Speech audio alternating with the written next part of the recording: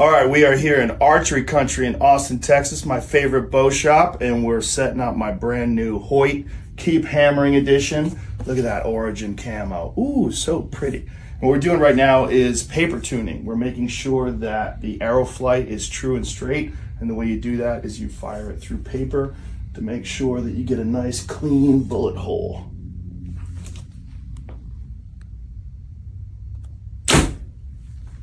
That looks Oh, perfect That's money. right there. Oh, that's what we're looking for. Oof, perfect.